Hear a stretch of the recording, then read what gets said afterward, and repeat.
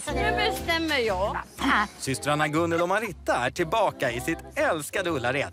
Bland annat för att köpa nya kläder till Gunnel. Jag tyckte den var skitsnygg ja.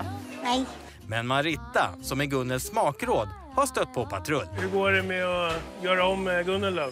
Väldigt dåligt idag. Men skam, den som ger sig. Kolla! åh den där var snygg. Ja, den hittade vi snygg åt det.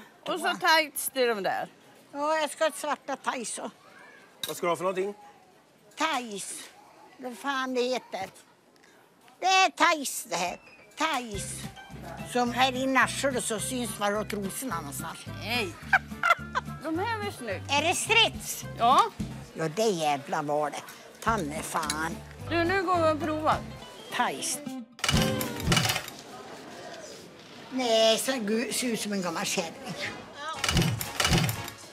Gör de det där då? Ja, de här byxorna var bra. Va- varför var de så bra? Förklara. Det är strids i dem. Vad sa du? Strids.